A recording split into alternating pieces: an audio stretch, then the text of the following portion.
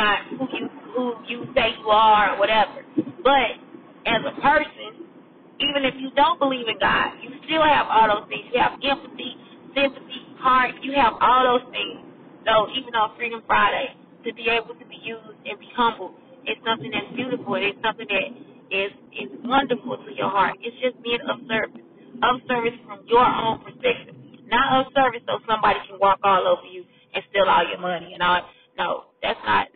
But anyway, again, it's Shantae with Brown Sugar Talks on Freedom Friday. Have a great day.